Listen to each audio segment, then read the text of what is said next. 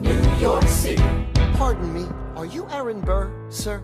That depends. Who's asking? Oh, well, sure. Sir, I'm Alexander Hamilton. I'm at your service, sir. I have been looking for you. I'm getting nervous. Sir, I heard your name at Princeton. I was seeking an accelerated course of study.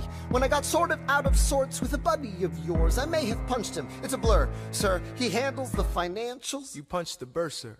Yes, I wanted to do what you did, graduate into and join the revolution. He looked at me like I was stupid. I'm not stupid. So how'd you do it? How'd you graduate so fast? It was my parents' dying wish before they passed. You're an orphan. Of course, I'm an orphan. God, I wish there was a war, then we could prove that we're worth more than anyone bargained for. Can I buy you a drink? That would be nice.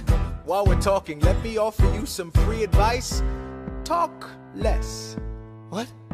Smile more. Huh. Don't let them know what you're against or what you're for. You can't be serious. You wanna get ahead. Yes. Fools who run their mouths off wind up dead. Hey, yo, yo, yo, yo, what time is it? Showtime! Like I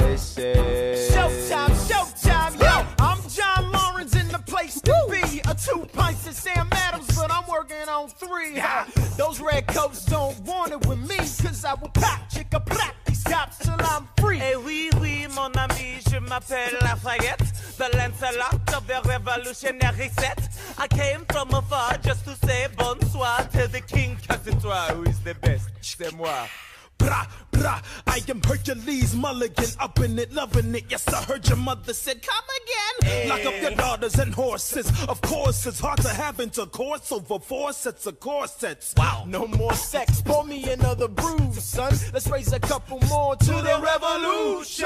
Well, if it ain't the prodigy of Princeton College, Aaron Burr. give us a verse, drop some knowledge. Mm-hmm. Good luck with that. You're taking a stand. You spit, I'ma sit. We'll see where we land. Bro, the revolution's imminent. What do you stall for? If you stand for nothing, Burr, what'll you fall for? Who are